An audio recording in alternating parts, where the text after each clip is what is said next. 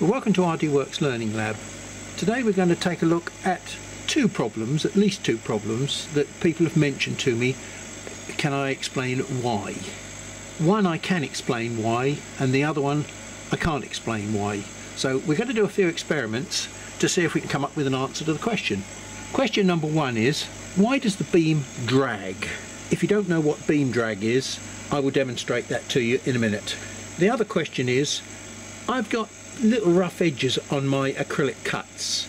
How can I get them nice and smooth? Now maybe some of you guys already know the answer to this question, but the majority of people, um, me included, doesn't know the answer at least one of those questions. So what we're going to do is just have a bit of a play here. And we're going to change one factor at a time. So what we've got here is some 8mm acrylic. Now I've already measured the power out of my nozzle here and I know that I've got approximately 60 watts coming out there. Because I've got uh, a one and a half inch lens in here, I've got a distance away from the work of only about 6 or 6.25 I think it is, a quarter of an inch. So I'm going to set my focus up, first of all, to sit right on the surface of the job. I've got a pressure control valve on my machine and if you listen carefully I can turn the air pressure off or certainly right down. So we could have it, if I can get it just right, there we go, we can just hear a whisper. There's just enough positive air coming out of that nozzle to make sure that we don't get any fumes back up on the lens. So that's about as weak as I can possibly get it. So we've got several factors that we can play with. We're going to play with speed, we can play with power but it's best to keep the power fixed and just change the speed we can change the airflow so that we can see what effect cooling or uh, clearing of the fumes has and then we can change one other vital thing as well. What I'm going to do is do a series of test squares. I want to use acrylic so that you can see clearly what's happening to the cut. Several other people have asked me what does through hole do? What's through hole power?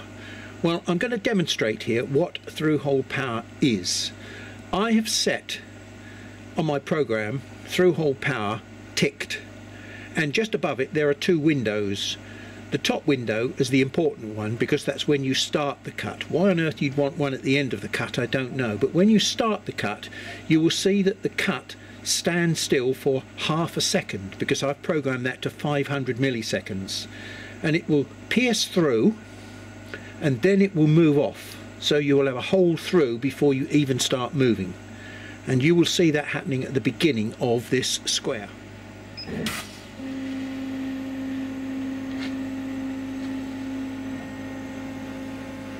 I'll turn some extraction on. Now you can see the beam dragging there.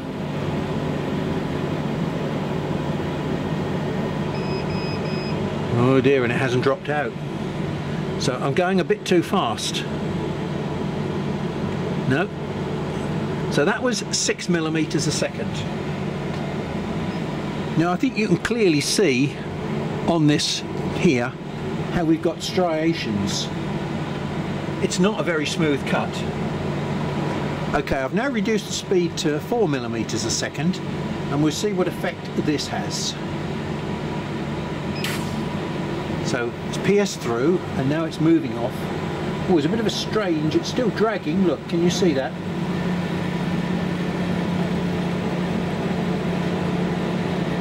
I would say we're cutting through this time because all the uh, fumes underneath but it's still dragging even though I've reduced the speed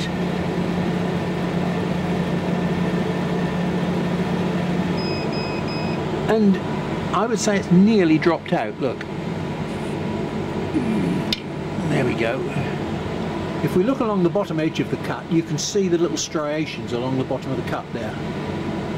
It's not bad for 60% hmm, of the depth, 80% of the depth.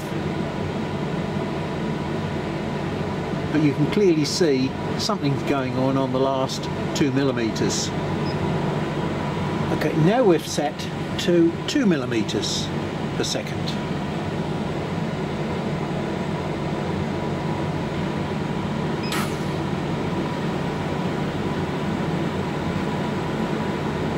Beam is still dragging even though we're going really slowly. But the gas is coming out underneath.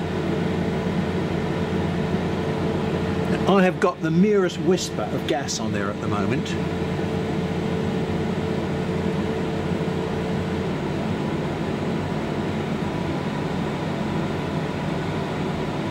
I think you see the beam is not dragging quite as much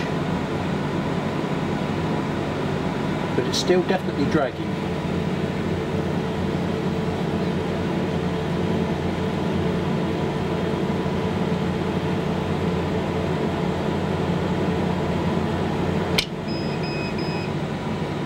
Okay let's take a look at this one now.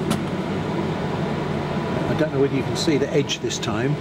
It is not bad at all. Going slowly, we've got a lovely smooth mirror polished edge on there now and I can feel that this piece is hot, the edge is hot and that's because we're going so slowly that the heat is actually flame polishing the edge as it goes.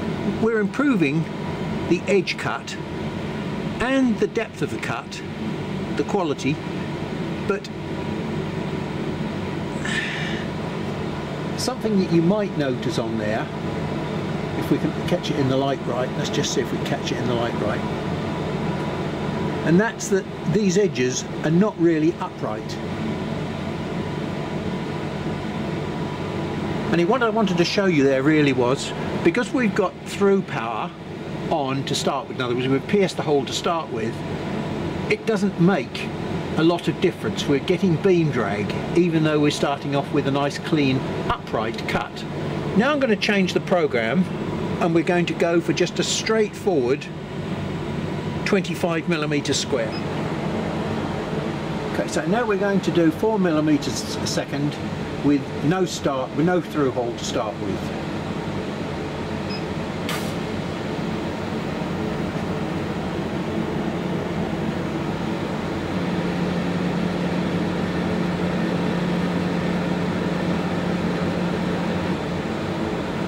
you can see we've got beam drag across the front there, quite significant.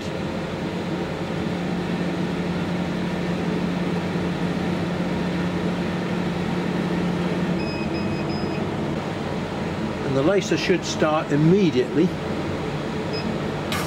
hasn't. So why is there a delay there, an odd delay? Have I still got my 500 milliseconds in there without a through hole?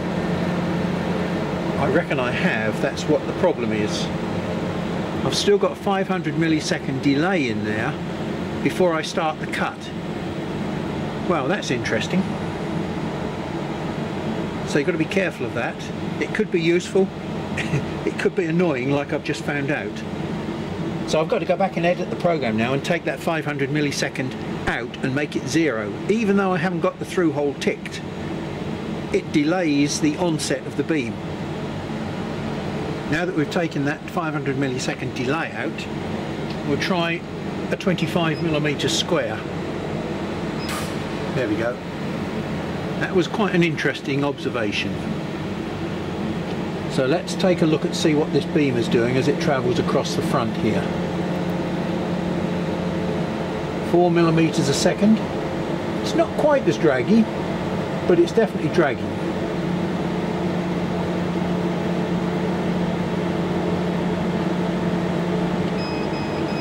and it dropped out. it's hung up on a corner because the beam is dragging it didn't quite cut the bottom corner. And again if we look carefully we shall find that the edges are not exactly upright. They're not square. The surface is not too bad but we've definitely from two millimeters away from the bottom we've definitely got some um, some striations. Now I've just turned the extraction off and what I'm going to do now, turned it off so you can hear, I'm going to turn the air pressure on full so that we can see what effect increasing the air pressure has.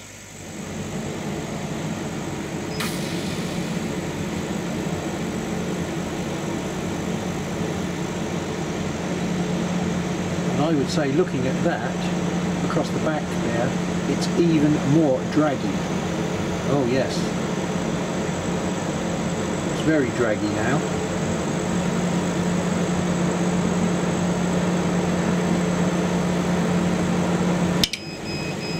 It's dropped out. There's actually a slight improvement, but the edges seem to be very out of square.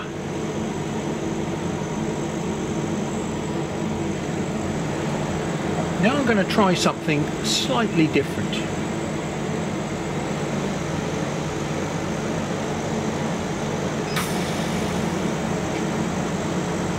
Full air, definitely dragging. You're seeing a reflection at the bottom there, that's why it's a sort of a bit of a V shape. Okay, now we're coming across the front here and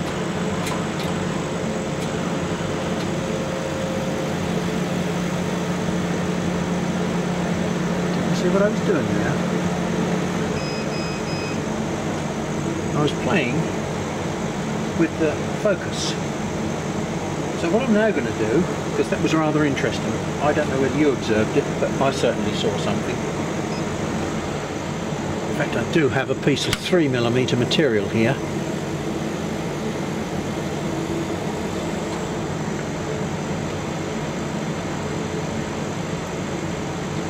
Okay, so we're now 3 millimeters off the surface, which means we're about 3.5 millimeters into the job with the focus point.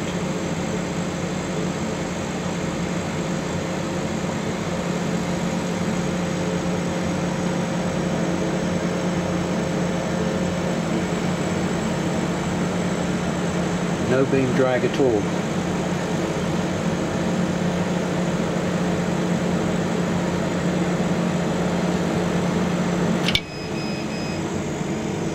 Have a lovely polished edge.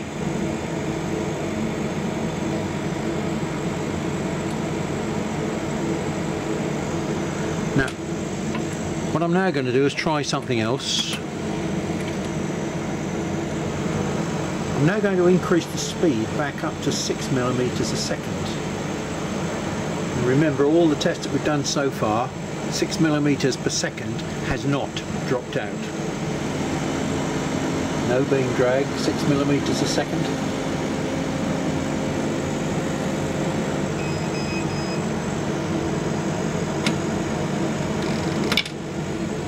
Just about did it. We're getting a small hint of striations across the bottom again. If you go slower, you will flame polish the edge better. And if you push the focus point into the material, you will get more depth of cut, but you'll also get a smoother finish all the way through your cut. Okay, now finally I'm going to do something very strange. First of all, I've put the speed back to 4 millimeters a second, and I've still got the nozzle set 3 millimeters above the surface. But I'm going to start the cut off right in the middle of that previous square.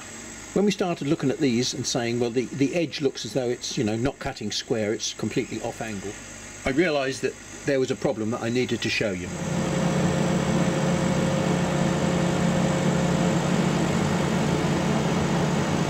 There we go, quite a nice clean upright cut.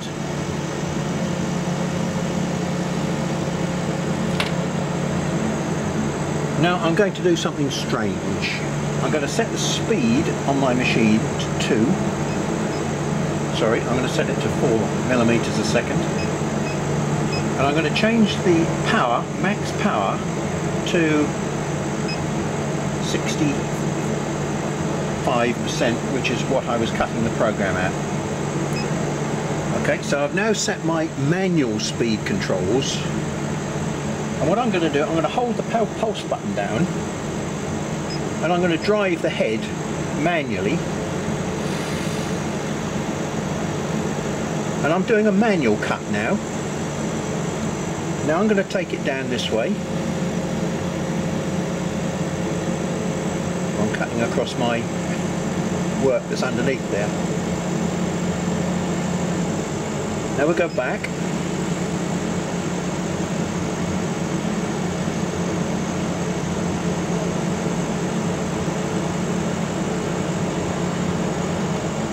now I'll go up. So I've done a manual cut there without going anywhere near the programming system. So there we are. We've cut our we've cut our piece of material out like a jigsaw puzzle. Right, let's have a look at this carefully. If I push those parts together like that, that's obviously not the cut because if I pull it one way, that's twice the, the thickness of the cut and if I push it together that's not the cut but if you look at the way in which the shapes don't match up both of them are actually going the opposite way to the shape of the beam. The beam is necked but the center of that cut halfway through the material has actually got bigger. And then if you look carefully at the bottom of the cut you'll see the bottom of the cut is touching but the top of the cut there's actually a gap at the top. There's a very short focus of only something less than a millimeter I think on this machine on with my 38mm lens. The focal distance is very very short and after that the beam starts diverging and getting out of focus. And as it gets out of focus obviously the beam gets bigger in diameter and its effective density, power density, gets less, which means it has less and less cutting power the further we get away from the focus point. But that then accounts for why we haven't got such a cut at the bottom there. Look, the power is disappearing. The cutting power is disappearing at the bottom of the cut. And so consequently, that's why the bottom of the cut is actually narrower than the top of the cut just because the edge is not square doesn't necessarily mean to say that the beam isn't square. It's all to do with the heat radiation and the shape of the beam and the power of the beam at a specific point through the cut. So those of you with 2 inch lenses for example will have less of this problem. You will be able to focus up better and probably have a straighter cut when you're cutting thicker materials but then again you won't be able to cut such thick materials because your power density is lower. So we're into a bit of a circular situation here. You know, but if you've got a lot of power, 60, 80 watt machine, then you should be able to cut 8 millimeter with no problem at all and probably get reasonably straight edges, better edges than I can get. Because, because we cut it very slowly, it's a superb quality edge. All I'm saying to you is, although the edge isn't upright, don't run away with the idea that there's something wrong with your machine because there probably isn't. It's all to do with the way in which the energy density in the beam is affecting the material that you're cutting.